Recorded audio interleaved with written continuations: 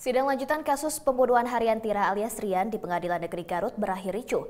Keluarga korban tidak terima dengan pembelaan kuasa hukum terdakwa yang menyatakan kematian korban karena kelalaian terdakwa Awe.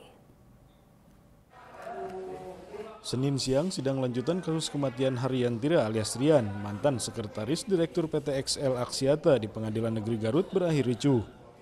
Keluarga korban tidak terima dengan pembelaan dari penasihat hukum terdakwa AW yang menyatakan jika kematian Rian bukanlah karena pembunuhan, melainkan karena kelalaian terdakwa. Keluarga korban yang emosi memaki-maki tim penasihat hukum dan berusaha mengejar tim pengacara terdakwa. Pihak keluarga menuntut terdakwa dihukum seberat-beratnya. Sidang pembacaan putusan hakim akan digelar Senin 18 April mendatang. Ya dihukum mati malah kalau bayar nyawa Ya, sebenarnya nyawa. gitu. Cuman kalau emang uh, emang nggak itu uh, bu hakimnya memutuskannya seumur hidup ya nggak apa-apa gitu.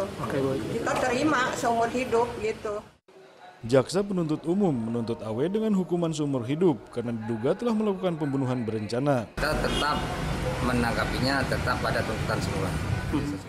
Kasus kematian Rian terbongkar oleh Polda Metro Jaya pertengahan tahun 2015 lalu.